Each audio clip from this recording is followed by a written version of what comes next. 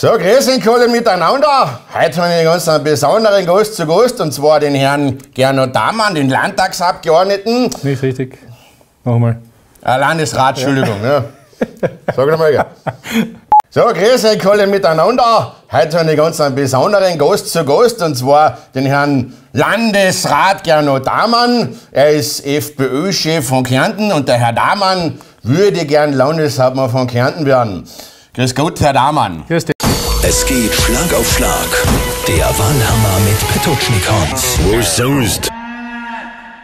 Ja, jetzt extra außen hergerichtet für Sie, gell? Man, eigentlich wollte ich ein Paella kochen, aber meine Frau hat gesagt, das Sushi ist mir selber, gell? Das passt. Ah, Sie kennen sehr passt gut. mir gut. Das Jager passt mir das gut. Mengs ein Speck, da Bitte. kann ich ruhig was anlagen. Ja. Kann ich so Äh, trinken Saft oder Bier? Ich werde heute einmal einen Saft nehmen. Saft. Bier ja. gibt es sonst auch genug. Ja, wir sind so ein Apfelguarana Maracuja Likör. Selber gemacht natürlich. Wunderbar. Wenn es der Hof hergibt. Ne, gefladert von der Opa. Ne? Zum Wohl. Prost. Mm.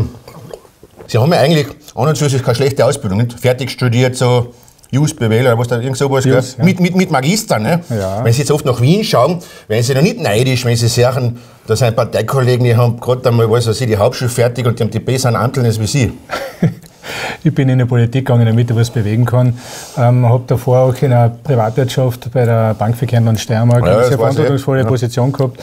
Ähm, aber ich wollte einfach in der Politik was gestalten und ich glaube, da braucht es dann nicht unbedingt einen Titel, weil es gibt einen gescheiten Spruch, nicht der Titel macht den Mann, sondern der Mann den Titel. Ja? Ja, weil jetzt haben wir das Ich sage Problem. das auch geschlechtsneutral, Mein für alle, die das das kritisieren. Problem ist jetzt, jetzt mein Bruder, er geht jetzt dritte Klasse Volksschule. Er sagt, er will nachher nicht mehr ins Gymnasium, er geht vielleicht Sonderschule, weil er, er braucht nichts kennen, er will Politiker werden. Ne? Jetzt haben wir das, das Thema schon. Ne?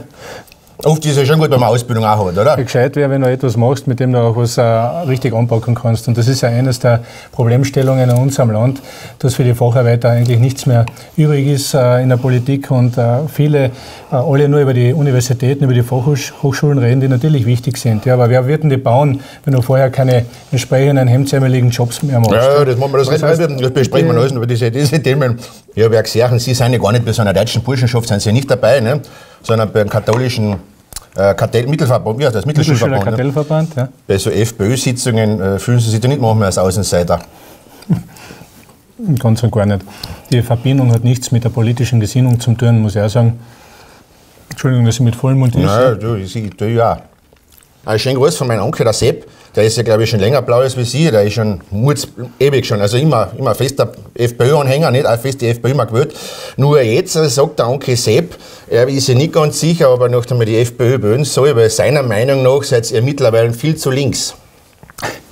Also, Was soll ich ihm sagen jetzt an? Ja. Doch rechts, oder? sag mir einmal, ähm, wieso wir links sind. Oder bei welchen Bereichen? Weil in gewissen Bereichen hat er vielleicht sogar. Kreisky würde die Strache wählen, das hat mein Onkel ja gar nicht gefallen. Ich sage einmal, äh, von diesem Links- und Rechtsschema sollte man wegkommen. Ja.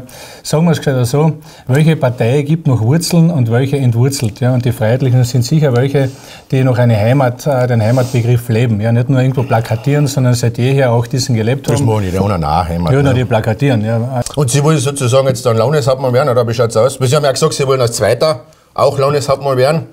Gibt es da schon so Abstimmungen mit den Schwarzen Es gibt keine? Abstimmungen. Es ist äh, von der Verfassung her möglich, wenn der Erste bei den Verhandlungen scheitert, dass auch der Zweite, wenn er es zusammenbringt, eine Mehrheit da zusammenzubringen, äh, halt auch dann Landeshauptmann werden kann. Ja, also die Verfassung gibt es her, theoretisch ist es möglich. Äh, Wichtig ist, dass im Land was bewegt wird. Ja, und was dieses Land nicht mehr braucht, ist eine Linksregierung. Ja, als Rot Jetzt haben Sie gerade früher gesagt, rechts, links darf man nicht. Jetzt sagen Sie wieder Linksregierung, ist nicht gut. Gut, dann sagen wir eine, eine Regierung von entwurzelnden Parteien, die vom Heimatbegriff nichts halten, äh, Kärnten zum Sozialamt für die ganze Welt machen wollen, aber nicht mehr auf die eigenen Leute schauen. Und ich glaube, wir haben so viele Probleme im eigenen Land, im Sozialsystem, im Gesundheitssystem, im Bereich der Sicherheit, dass wir zuallererst einmal auf die eigene, eigenen Bürger schauen sollten und äh, diese Hausaufgaben in der Politik erledigen, bevor wir versuchen, die ganze Welt zu verbessern. Sie plakatieren ja Stillstand beenden, ja, Zukunft gestalten. Heißt das, Sie wollen den Stillstand in Ihrer Partei jetzt beenden und in Zukunft gestalten, sozusagen? Nein, also wir haben in den letzten Jahren, glaube ich, äh, einen... Die letzten Jahren haben Sie es gemütlich gehabt den eigentlich, letzten- nicht? Weil Sie Nein, waren jetzt nicht so in der Regierung drinnen, ne? Ich bin was, was sind Sie noch mal Landesrat gefahren? Was, für was? 2016, Na, für- was- für was? Für was? Im Jahr 2016 bin ich äh, jagdliche Angelegenheiten, Verkehrssicherheit, Verkehrsrecht, Nationalpark, Biosphärenpark, äh, Naturpark in Kärnten, äh, legales Glücksspiel und, und, und, und, und. Also es sind Also schon quasi, wenn man jetzt von Studenten her redet, Orchideenfächer sozusagen. Ne? Eher die, wo man sagt, ne? Nein, äh, man es wird landläufig vielleicht das eine oder andere so gesehen, aber gerade Verkehrssicherheit, Verkehrsrecht geht uns wirklich überall an. Ja. Wie hoch schätzen Sie die Chancen ein, dass Sie Landeshauptmann werden? Haben's da, man, jetzt ist, man, muss jetzt schon einmal sagen, die FPÖ in Kärnten, Beliebtheitswerte, ich hab's doch einige ein bisschen was verbockt. Ne? Du hast das doch noch im Kopf drin, glaubst du, dass ihr das jetzt so überdünkeln könnt und trotzdem gewählt werdet? Ich habe ja gerade vorher schon versucht anzufangen. Ja, Sie reden Bin so viel, ich muss ja ein bisschen abreden, worden. Ähm, Im Endeffekt war es so, dass wir in den letzten Jahren wirklich auch einen Boxenstopp hinter uns gebracht haben, uns inhaltlich und äh, personell erneuert haben, voller Datendrang. Sie sind aber schon seit 2006 dabei, oder? ich bin seit 2006 dabei. Also sind Sie keine Erneuerung. Ich bin, ich, ich habe wirklich in den letzten Jahren sehr, sehr viel auch äh, dazulernen dürfen im Parlament. Ja. Bin äh, Vorsitzender der FPÖ im äh, Hypo-Untersuchungsausschuss gewesen, war Sicherheitssprecher der Bundespartei im Parlament. Das heißt, ich habe wirklich versucht, dort äh, mir sehr, sehr viel anzueignen, mit privaten äh, Kursen auch noch darüber hinaus. Aber wenn Sie jetzt sagen, Stillstand, was hätten denn jetzt die tun sollen? Das ist ja kein Gut, das habt ihr ja schon hier verbraten. Ne? Das war ja nichts da. Nein, ist ja, ich mein, Wie wie viele Milliarden haben wir jetzt mir schon überhaupt? Ja, Das weißt du schon gar nicht mehr. Die die Nuller gar nicht mehr zählen. Einige Milliarden und die letzte Milliarde, die jetzt die Sozialdemokratie in Richtung äh, Wien verschenkt hat, die hätten wir uns auch sparen können. Wenn jetzt gut groß über die Sache gewachsen ist, käme dann der Uwe Scheich und der Dörfler wieder zurück in die Partei oder seid ihr jetzt in der Rente? Die Kollegen äh, Dörfler und Scheuch haben sich aus der Politik zurückgezogen ja, und haben äh, überhaupt kein Interesse und, und vermutlich auch keine Ambition mehr, auch noch irgendwas in der Politik zu machen. Aber habt ihr da nicht, ich meine, die haben schon, das müssen wir jetzt nicht zugeben, nicht, dass da ziemlich Dober-Sticks haben sie gekauft um 11.000 Euro und so Sachen. Habt ihr da nicht mit denen geschimpft oder was der Teufel was? Das, mit dem, ist gehört, ist ja relativ locker in der Tasche gesessen bei den Kollegen, oder? Die Themen, die jetzt da angesprochen werden, also wenn es äh, Versäumnisse oder dort Fehler gegeben hat, ist auch da entsprechend der Rechtsstaat äh, beim Aufarbeiten dieser Themen. Ja. Äh, mehr habe ich dazu jetzt nicht zu sagen, weil die Personen jetzt äh, auch schon längere Zeit überhaupt keine Rolle mehr in der Freiheitlichen Partei in Mhm. Kärnten spielen. Ja. Ähm, jetzt nochmal, kommen wir noch zu den anderen Parteien. Ähm, ihr arbeitet jetzt vielleicht in der nächsten Periode mit irgendwann zusammen, wenn man jetzt so sagt, welche Partei da Ihnen jetzt, was haben Sie zum Beispiel Positives an der SPÖ? Was gefällt Ihnen da? Eine kurze Antwort, bitte. Ja, bei der SPÖ ist es, wenn dann eh noch eine kurze Antwort. Ja.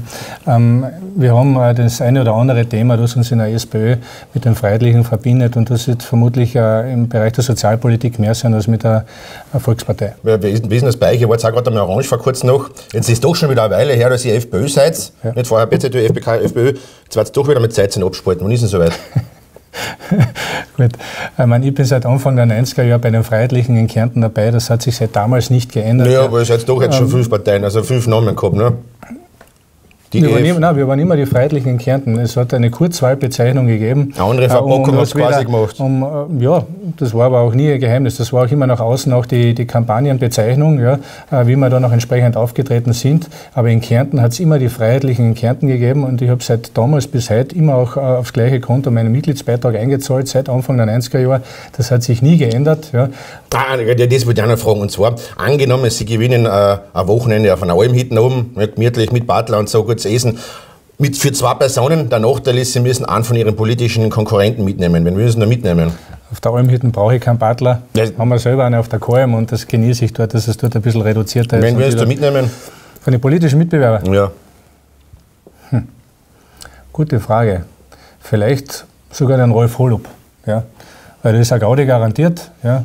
Das ganze Wochenende, äh, wir haben eine Hetz, äh, ist alles nicht so ernst. Äh, Das muss ich mir mal auf der anderen Seite in der Politik aber vorwerfen, ja? weil er soll es dort ein bisschen ernster nehmen und das ist nicht immer alles Kabarett.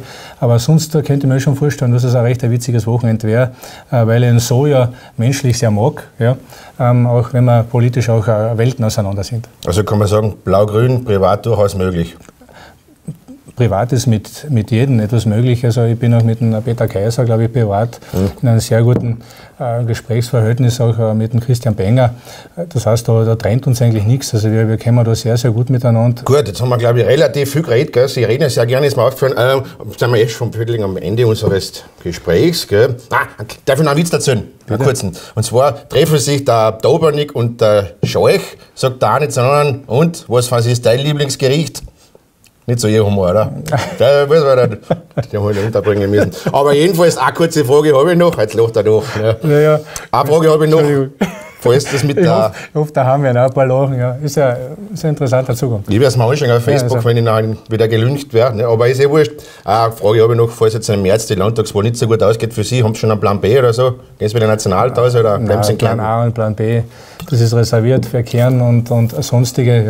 Ja. Ähm, ich Sie haben mir, C. ich, nein, ich schaue mir äh, die Wahl jetzt einmal an, ja, versuche die Themen hinauszubringen und den Wettkampf der besseren Ideen auch äh, für uns zu entscheiden. Äh, ich bin auch sehr zuversichtlich, äh, dass Kärnten, äh, wie gesagt, eine Veränderung ebenso wählen will, wie es auch schon der Bund gewählt hat. Äh, und danach schauen wir weiter. Aber ich gehe davon aus, dass es eine erfolgreiche Wahl auch für die Freiheitlichen wird, damit auch eine erfolgreiche Wahl fürs Kärntnerland. Und wo schlussendlich, ja, sei es drum, ja, äh, bei, einem anderen, äh, bei einem anderen Wahlausgang passiert, das wird man sich dann auch anschauen müssen. Ich bin auf jeden Fall keiner, der irgendwas vorhersagt, weil ich habe von meinen politischen Mitbewerbern schon gehört, wenn das eine oder andere scheitert, sind sie sofort Clubobmann im Landtag und sonst was. Ich sage, das entscheiden noch immer andere und ich weiß auch nicht, ob mir dann auch äh, sowas noch überhaupt gefallen würde. Ja. Ich muss ja nicht immer alles gleich auf den Moment beantworten können. Ähm, ich habe eine gute Ausbildung, ja. es, es ruft auch die Privatwirtschaft, die Rufe habe ich bis jetzt aber überhört bewusst, ja, sondern ich schaue, dass ich in der Politik äh, noch viel bewegen kann und ich bin voller Tatendrang, äh, mit dem Freiheitlichen in Kärnten noch viel zu bewegen. Gut, dann sage ich Dankeschön für den Besuch. Schön, dass Sie da sein gewesen. Und noch schöner ist, wenn Sie wieder weg sind. Gell? Dankeschön. Vielen Dank. Prost, Servus. Der Wahlhammer mit Petutschnik Hans. Was sonst?